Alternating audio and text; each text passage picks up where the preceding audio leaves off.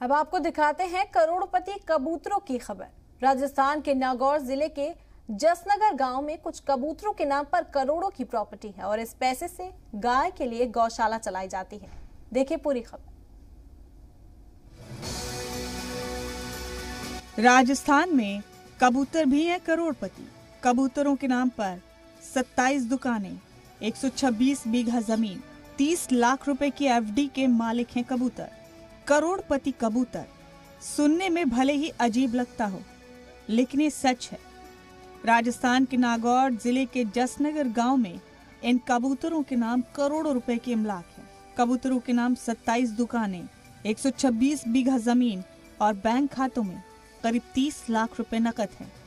इतना ही नहीं, इन्हीं कबूतरों की 10 बीघा ज़मीन पर 470 गायों की गौशाला भी चलाई जा रही है।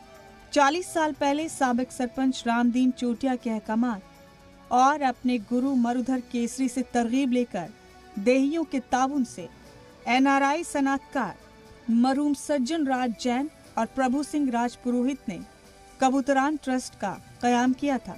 भामाशाहों ने कबूतरों के तहफ़ और मुस्तकिल दाने पानी के इंतज़ाम के लिए ट्रस्ट के ज़रिए से कस्बे में 27 दुकानें बनवाई और इन्हें इनके नाम कर दिया। अब इसी कमाई से ट्रस्ट पिछले 30 सालों से रोज़ाना तीन बोरी अनाज दे रहा है। आसपास के लोग कबूतरों को दाने पानी की कमी न हो, इसके लिए दिल खोल कर दान भी कर रहे हैं। Bureau report, C media.